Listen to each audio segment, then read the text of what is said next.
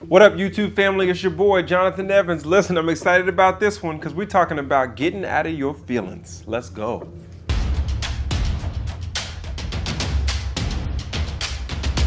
Get out your feelings. You've heard it been said before when you're all in your feelings because it's all out of your reaction. The way that you're reacting, people know you're in your feelings. What you're doing is coming out of how you're feeling. How you're moving is coming out of our uh, feelings. Our feelings have a lot to do with what we do. And the question is, do they have too much control? Because a lot of times we end up in situations we don't want to be in. We end up operating in a way that we regret in the future. We end up saying something that we shouldn't have said. We end up going to places that we shouldn't have gone, meeting people and being with people that we shouldn't be with. All of these things that happen because we are all in our feelings. And a lot of times our feelings can disguise the truth. A lot of times our feelings can make something that's false look true to us because of how we feel.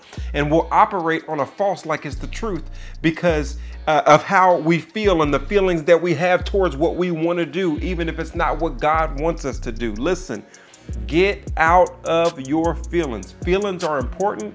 Feelings is something that God gave us, but feelings a lot of times can lead us in a direction that God doesn't have for us. That's what the Bible says in Jeremiah 17 9.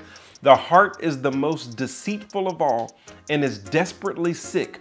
Who can understand it? So when we say in our culture, follow your heart, God is not saying follow your heart. That is an American slogan that the Bible disagrees with. God is not telling us to follow our heart.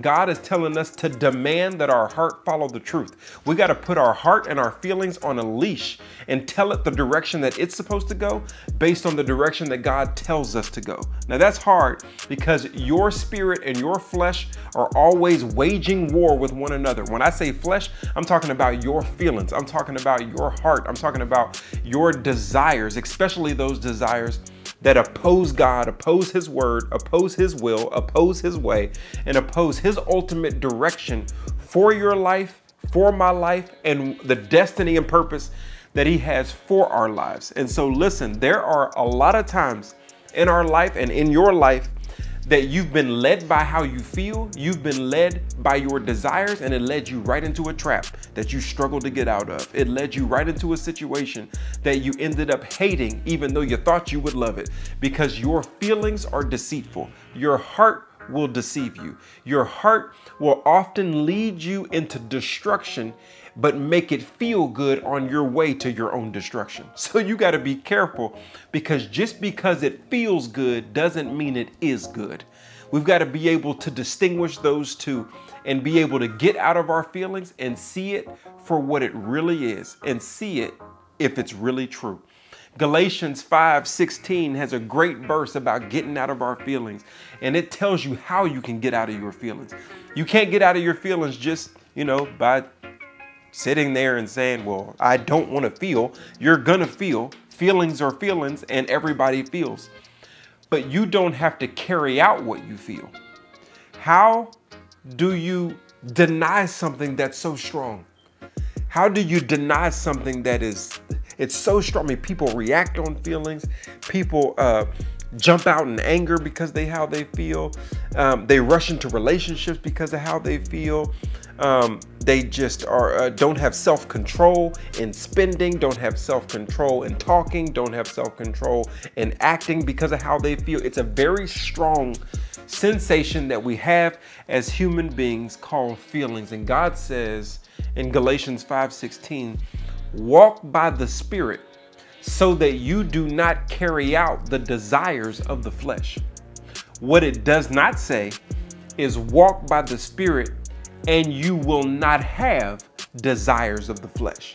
That's not what it says. A lot of people spend their whole life trying to be less fleshy. If I just didn't have my feelings, I'd be okay. If I just didn't feel the way I feel, then I'd be good. If I didn't feel this way about you, I could get away from you. If I didn't feel this way about you, I wouldn't be so hard on you. You're gonna feel. The Bible doesn't say you're not gonna feel if you walk by the Spirit. It says, if you walk by the Spirit, even though you feel, you will have the power not to carry out what you feel. You will have something that's a fruit of the Spirit that comes a few verses later called self control. And why would you need self control if there were never situations that, are, that came about where you didn't have to control yourself? Self control intrinsically means that situations are going to happen where feelings are conjured up, where you have to see the truth, be patient, and have love, joy, peace, patience, kindness, goodness, faithfulness, gentleness, and self control so that you can experience what God wants you to have in your life and not just the outcomes of your feelings, even though they feel good and they're really false. Now, what is walking by the Spirit? That seems like this never, never land concept. What do you mean, walk by the Spirit? It means walking spiritually. Well, what does walking spiritually mean? Well, walking spiritually means walking biblically. Because in the beginning was the Word, the Word was with God, the Word was God, and the Word became flesh and dwelt among us. And He is the Word, He is the truth. And then He left when He ascended and gave us the Spirit.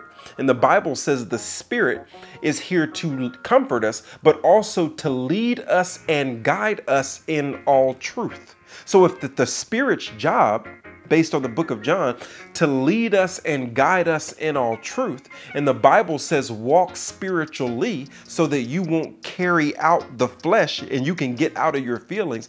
It's saying, let the word of God lead you and guide you in truth by the spirit that you have received that you're relying on not the power of your feelings, you're relying on the power of your faith. You're relying on what is true, what is read, what is a staple, what will not change. Your feelings are like a roller coaster. They will go up and down. If you get in a fight with somebody, just go sit down for about 10 minutes or 10 hours or 10 days or 10 weeks and cool off and think about it. You'll probably feel a little bit differently or you'll feel a little bit worse or a little bit better. In other words, it's a roller coaster. But what's true is God's word. What's true is the fact that He's telling you how to walk. He's telling you how to live. He's telling you that a gentle word in Proverbs turns away wrath. So even though I'm feeling like giving a harsh word, the Bible says give a, give a gentle word. And if you give a gentle word, it'll turn away a harsh reality. So the Bible, through His Word, tells you how to speak. It tells you how to operate. It tells you how to relate. It tells you how to be married. It tells you what to do. And when you walk spiritually, biblically, in spite of how I feel, you get true results and you don't get stuck with a false reality that came from good feelings. That came from, well, I think I'm doing it the right way. I feel like I'm doing it the right way. Now, listen, how do you win? How do you actually win? When you got things happening in your life, you're frustrated to the max, you're angry to the max, you're in love to the max. There are all of these different feelings up or down, and you're trying to figure out how to deny the flesh to make sure that you're living the way God wants you to live so you can have the results that God wants you to have. When it comes to the spirit and the flesh, whichever one you feed wins. Very simple. If I put two wolves in a ring, let's say these wolves are at war with one another because the Bible says the spirit and the flesh are at war with one another. Well, if you feed the wolf that is the flesh, then that wolf will get stronger. That wolf will be more explosive. That wolf will have more energy.